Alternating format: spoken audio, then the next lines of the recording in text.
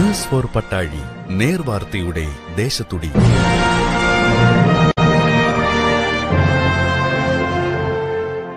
പട്ടാഴിയിലെ containment സോണുകൾ തുറന്നു. മൂന്നാം വാർഡായ മീനവും പത്താം വാർഡായ കന്നിമേലും ഒഴികെയുള്ള വാർഡുകളിൽ നിയന്ത്രണങ്ങൾ പിൻവലിച്ചു. കടകൾ തുറക്കുന്ന സമയം ഒറ്റ ഇരട്ട അക്ക നമ്പറുകളുമായി ബന്ധപ്പെട്ട പ്രധാന വാഹന ഗതാഗതം എന്നിവയെ സംബന്ധിച്ച് അനിശ്ചിതത്വം നീളുന്നു. ബഹുമാനപ്പെട്ട കുന്നിക്കോൾ സിയും പഞ്ചായത്തുമായി നടക്കുന്ന ചർച്ചയിൽ നിന്ന് തന്നെ തീരുമാനം ഉണ്ടാകാൻ സാധ്യത.